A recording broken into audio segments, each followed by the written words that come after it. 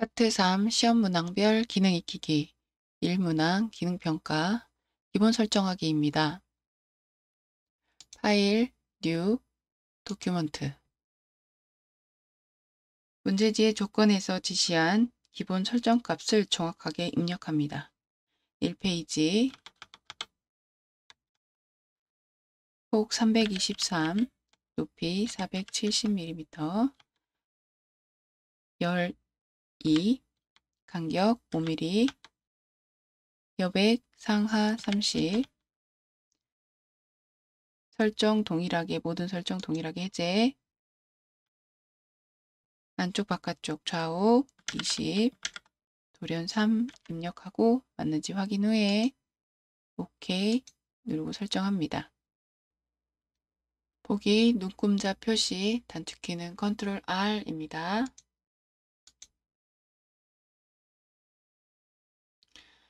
문서 설정을 수정할 경우에는 파일, 문서 설정 Alt 컨트롤 P 누르고 수정할 부분을 반영한 다음에 OK 누릅니다. 안내선이 보이지 않을 때는 보기 격자 안내선 컨트롤 세미콜론 눌러주시고요. 보이게 하려면 컨트롤 세미콜론.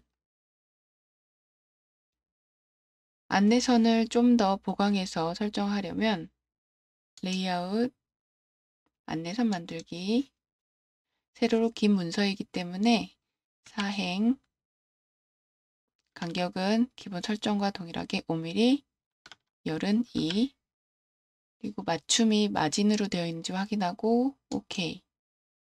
다음은 격자 표시입니다. 보기, 격자 및 안내선, 격자 표시, 단축키는 컨트롤 다운표.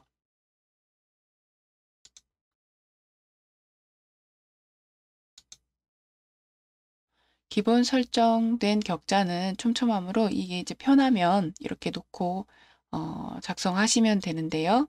간격을 좀 넓게 설정하려면 컨트롤 K 환경 설정 들어가셔서 그리드 격자를 선택해 주시고 어, 수평과 수직을 최대값 350으로 설정을 해 주시면 됩니다. 오케이. 설정한 안내선과 격자를 활용하여 레이아웃을 편집합니다. 다음은 이미지 효과 주기입니다. 파일, 가져오기, 단축키 컨트롤 D 내 PC 문서 GTQ 이미지 폴더 안에서 나비 JPG를 선택하고 열기 누르면 마우스 포인터에 이미지 thumbnail이 함께 보입니다. 이때 작업 영역에서 드래그 하여서 이미지를 가져옵니다. 다음은 효과를 적용할 텐데요. 윈도우의 효과 Shift 컨트롤 F10을 눌러서 패널을 효과 패널을 불러올 수 있고 이때 하단에 어, 효과 아이콘을 눌러서 드롭 섀도우 그림자 효과를 줄 수 있습니다. 어, 이런 방법도 있지만 어, 바로 이미지에서 우클릭을 하여 효과의 그림자 효과 그림자 효과를 가장 많이 사용하므로 단축키가 Alt Ctrl M으로 설정되어 있습니다. 설정하여서 미리 보기로 확인을 해보고 OK 누릅니다. 다음은 이미지가 선택되어 있는 상태에서 어, 상단의 컨트롤 패널 중간쯤에 보면 불투명도 아이콘이 있습니다. 이때 60% 입력하고 엔터 누르면 불투명도가 적용됩니다. 다음은 clipping path 적용하기입니다. 파일, 가져오기, 컨트롤 D 눌러서 복귀 JPG 선택하고 열기 누릅니다. thumbnail로 이미지가 확인되면 드래그 하여서 이미지를 가져옵니다. clipping path를 적용해 보겠습니다. 개체, clipping path, 옵션, 단축키 Alt, Shift, Ctrl K 눌러주시면 타입에 Photoshop path 선택하고 하단에 path가 선택되어 있는지 확인한 후에 OK 누릅니다.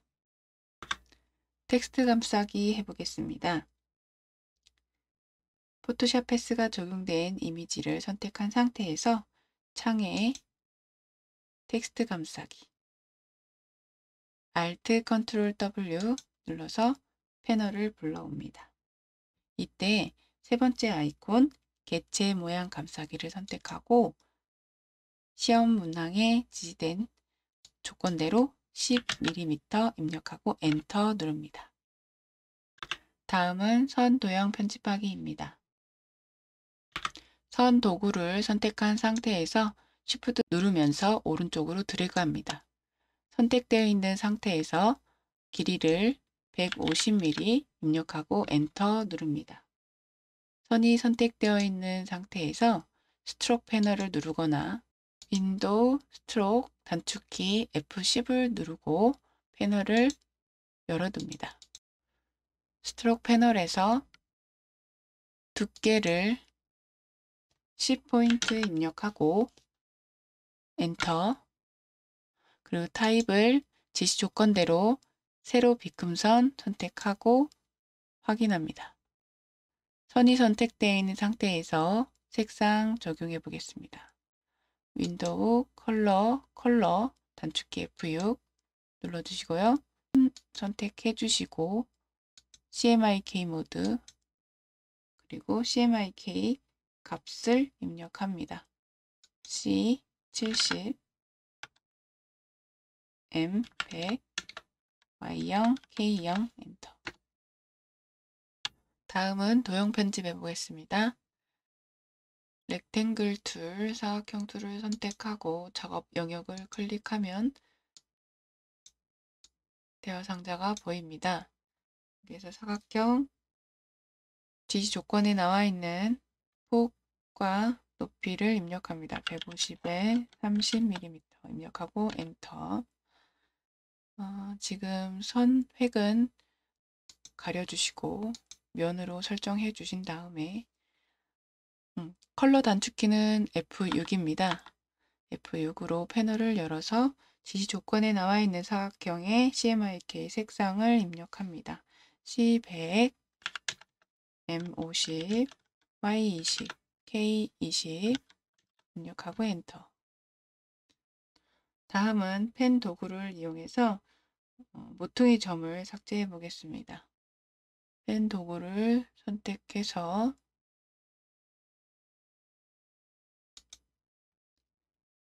사각형의 왼쪽 하단에 마우스 오버하면 마우스 포인터에 마이너스가 표시됩니다. 이때는 고정점을 삭제할 수 있다는 뜻이기 때문에 클릭해서 모양을 편집할 수 있습니다. 실행 취소 컨트롤 Z 되돌려 주시고요. 선택 tool을 선택한 상태에서 도형을 선택해 놓고 이번에는 모퉁이 옵션을 적용해 보겠습니다. 개체 모퉁이 옵션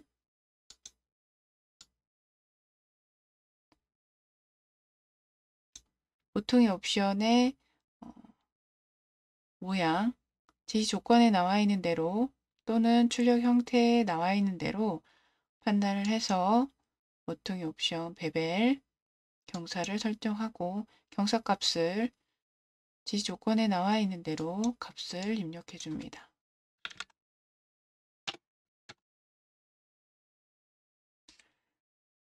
선택 도구가 선택되어 있는 상태에서 Alt, Shift를 누르고 마우스를 아래로 내려서 도형을 복사합니다. 도형이 선택되어 있는 상태에서 이제 다른 모양의 모퉁이 옵션을 설정해 보겠습니다. 개체, 모퉁이 옵션, 이번에는 모퉁이 거꾸로 둥글게라는 옵션을 설정해 보겠습니다. inverse rounded 미리 보기로 확인할 수 있습니다. 미리 보기로 확인을 해서 오케이.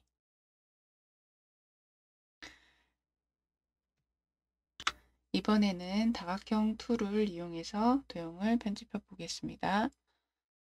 사각형 툴을 길게 누르면 다각형 툴이 보입니다. 이렇게 선택한 상태에서 작업 영역을 클릭하면 아까와 같이 대화 상자가 보입니다. 지시 조건에 나와 있는 다각형의 폭과 높이의 값을 60으로 입력하고 다각형의 면수 를 입력하고 5 입력하고 OK 누릅니다. 선획은 가려두시고 면색으로 설정을 해서 지시 조건에 나와 있는 다각형의 CMYK 색상 값을 입력합니다.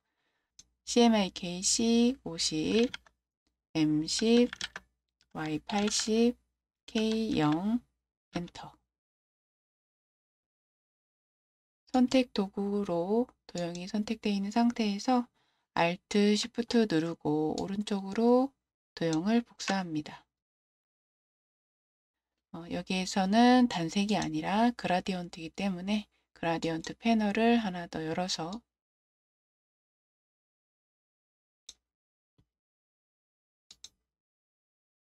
그라디언트 패널을 열어서 시작색 CMYK 0000 끝나는 색깔 CMYK M70 Y30 K0 입력하고 엔터 누릅니다. 이때 그라디언트의 방향은 타입에서 조절할 수 있습니다. 지금 예지에는 라이너로 되어 있기 때문에 설정을 해놓고요. gradient가 적용되어 있는 도형을 선택한 상태에서 Shift 누르고 왼쪽으로 이동해서 첫 번째 만든 도형과 겹쳐지도록 배치합니다. gradient가 설정되어 있는 도형은 컨트롤 패널에서 불투명도 아이콘 옆에 60% 입력하고 엔터 누릅니다. 문자 효과 적용하기 Type Character Control T 눌러서 문자 패널 열어주시고요. 글꼴은 Times New Roman 타입은 Regular 크기 36 설정하고 왼쪽에 도구 패널 도크에서 Type Tool 단축키 T를 눌러 선택합니다. 드래그 하여서 타입 프레임을 만듭니다. 문자 색상을 적용해 보겠습니다. 컬러 패널 F6 눌러서 열어주시고 시험지 지시 조건에 나와 있는 CMYK 색상 값을 입력합니다. M60, Y70, K0 그리고 문자를 입력합니다. Super Food 문자를 입력할 때 문자 패널을 열어서 입력해도 좋은데요. 문자 패널을 열지 않고도 문자를 입력할 수 있습니다. 패널에 나와 있는 글꼴 타입 부분이 상단의 컨트롤 패널에서도 확인이 됩니다. 그래서 패널을 굳이 열지 않고도 문자를 편집할 수 있습니다. 상단에 보시면 쪽은 문자에 대한 컨트롤, 아래쪽은 단락에 대한 컨트롤 패널이 보입니다. 여기에서 문자 패널을 보고 글꼴과 크기, 타입을 정해줄 수 있고 오른쪽으로 쭉 가시면 장평, 자간 이런 부분들도 수정하실 수 있습니다. Pen Tool을 클릭하여 패스 형태를 만듭니다. 기준점을 클릭한 다음 두 번째 기준점을 클릭하면서 드래그하여 segment line을 확인합니다. 다음 Alt를 누른 상태에서 기준점 클릭해서 방향선을 제거해 주시고 세 번째 기준점을 클릭하면서 드래그하여 segment line, path line을 확인하고 Alt 누른 상태에서 방향선을 제거하고 패스를 마무리합니다. 선택 도구 클릭한 다음 타입을 Type Tool을 길게 눌러 Type on a Path Shift T 바꿔주시고 path line에 클릭하면 커서가 보입니다. 이때 글꼴을 바꿔주시고 궁서 상단이 없으면 아래쪽으로 내려서 궁서 선택해 주시고 지시 조건에 32포인트 32 입력하고 엔터 그리고 가운데 정렬 해준 다음에 CMYK 색상을 적용합니다. C60, M100, Y20, K0 엔터 문자를 입력합니다.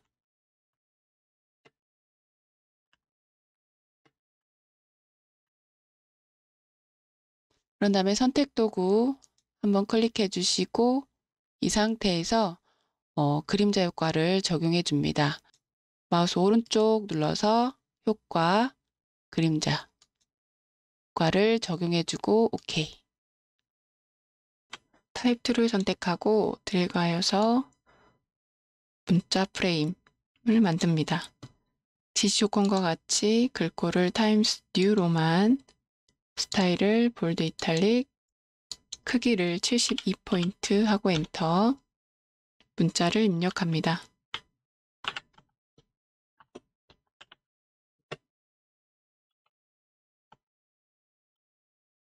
전체 블럭을 지정을 하고 gradient를 적용합니다.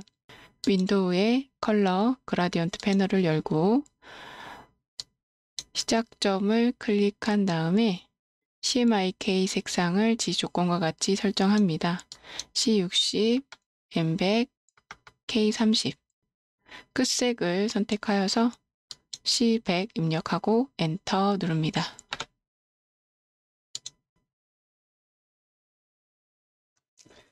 단락 스타일 설정하기 Window Color 스와시 단축키 F 클릭합니다. 견본 패널 우측에 새로운 견본을 추가합니다.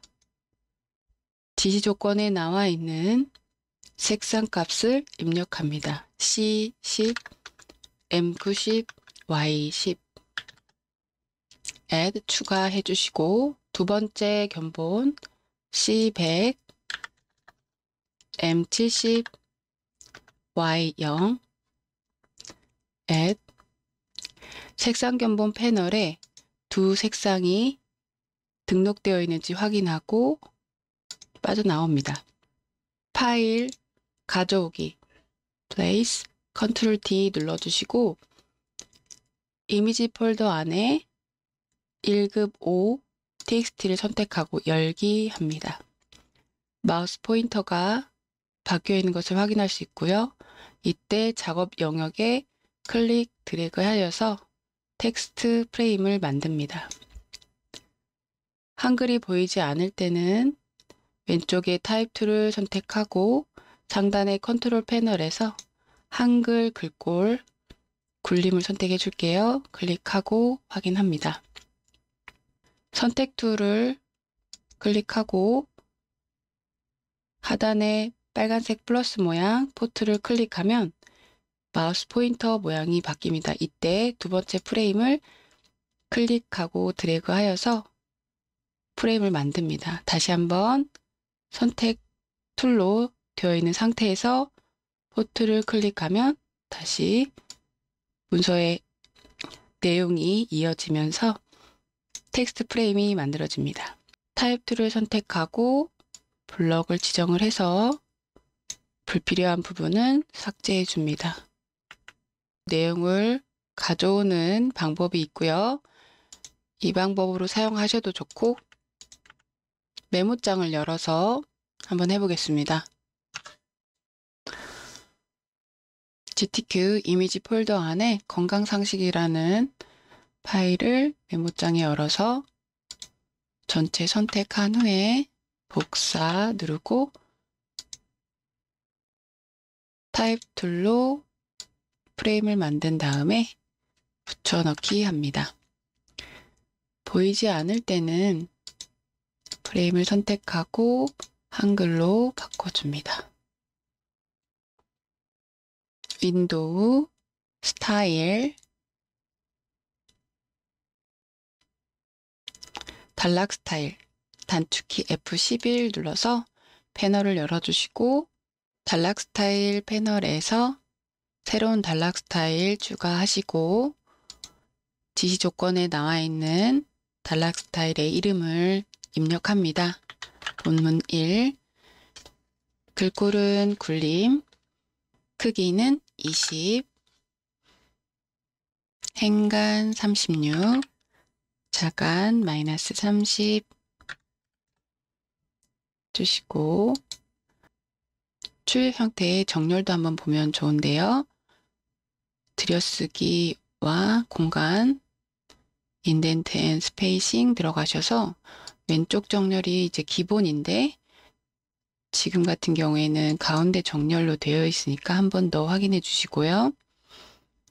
그 다음에 문자, 컬러, 색상 견본 선택해 주시고 Underline Option 들어가셔서 Underline On 그리고 선의 두께 1포인트 그리고 Offset 6포인트 그리고 타입 어떤 건지 확인하시고요. 문자와 동일한 색상이면 그대로 두시고 다르면 색상 견본에서 선택하면 됩니다. 다 설정이 완료되면 OK 그런 다음에 텍스트 프레임이 선택된 상태에서 본문 1 선택해 주시고 프레임을 늘려서 맞춰 주시고요. 그리고 출력 형태에서 보면 단이 나눠져 있는 것을 확인할 수 있는데요. 컨트롤 패널 오른쪽에 보시면 단을 조절할 수 있습니다. 단의 간격을 5mm 주시고 아래쪽 프레임을 출력 형태와 같이 조절하시면 됩니다. 두 번째 단락 스타일 적용해 볼 텐데요. 약간 이동해서 단락 스타일 패널의 오른쪽에 새로운 단락 스타일 추가해 주시고 단락 스타일의 이름을 정확하게 입력해 주시고 단락 스타일 이름에 맞는 설정 값을 정확하게 입력해 줍니다. 바탕 16포인트. 행간 24 자간 마이너스 50 혹시 정렬이 왼쪽 정렬인지 한 번 더 해주시고요. 문자 색상 탭으로 이동해서 색상 견본에 나와 있는 CMYK 색상값 확인하고 선택해 주시고 OK 눌러줍니다. 메모장으로 열어보겠습니다. 소금 이야기를 메모장으로 불러오고 전체 선택해서 복사한 다음에 type tool에서 텍스트 프레임을 만들어 주시고요. 일단은 한글로 바꿔주시고 Control V 해서 가져옵니다. 본문 2 단락 스타일 적용해 줍니다. 선택 tool로 이동해서 컨트롤 패널에 단을 3으로 설정해 주시고요. 간격을 5mm 설정하고 좀 작게 해줄게요. 프레임을 아래쪽으로 늘려줍니다. 출력 형태를 확인하면서 프레임의 크기를 조절합니다. PDF 내보내기인데요. PDF 내보내기 하기 위해서는 먼저 기본적으로 저장을 반드시 하고 진행해야 합니다. 파일, 저장 눌러주시고요. GTQ 폴더 안에 수험번호, 수험표에 나와 있는 본인의 수험번호를 입력하고요. 하이픈 하시고 성명 이영진 그리고 문항 번호 1번 문항이니까 1 하시고 저장 누릅니다. 파일 Control E 눌러주시고 GTQ 폴더 안에 수업 번호 맞는지 이름 1 확인하시고 파일 형식을 Adobe PDF Print로 선택이 돼 있어야 되고요. 저장합니다.